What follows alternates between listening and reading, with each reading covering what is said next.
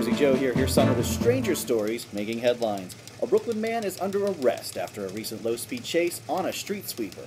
That happened back in January after several motorists called 911 to report a man on a street sweeper driving erratically. When police arrived, the driver refused to stop and the low speed chase was on.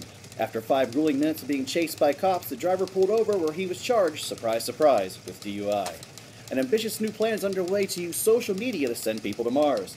The company called Mars One is seeking people via social media to apply for a one way trip to the planet as early as this year to start a permanent colony. The entire event will be followed online like one big reality show, with the first round of contestants already eliminated.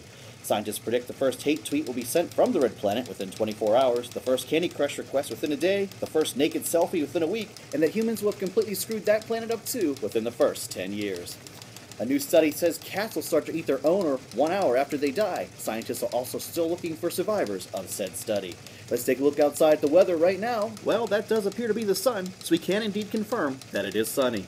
And in a recent letter published by the New York Times and obtained by me, they're promising a substantial savings on subscriptions. In sports, New York won, Dallas lost, Detroit is just trying to keep the lights on. And finally, a Seattle Seahawks fan obituary blames the team's bad play at the Super Bowl as the cause of his death. Michael Vedvik of Kent, Washington died the day after his team lost to the Patriots in the big game, and his family claims the final play sealed the deal to his death. His obituary reads, We blame the Seahawks' lousy play call for Mike's untimely demise. In a related story, many Vegas gamblers blame the Seahawks' lousy play call for demise of funds in their bank accounts and wallets. And that's look at the stranger news happening. Jersey Joe, I'll see you next time, I hope.